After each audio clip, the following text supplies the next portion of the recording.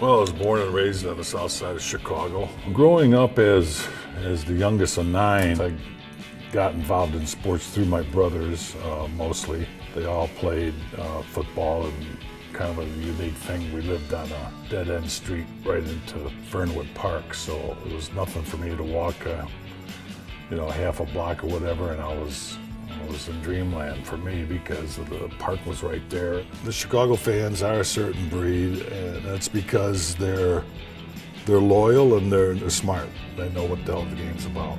Being a fan while I'm actually out there on the field and everything was emphasized when Gale, you know, scored six touchdowns. What was funny, it was a fan.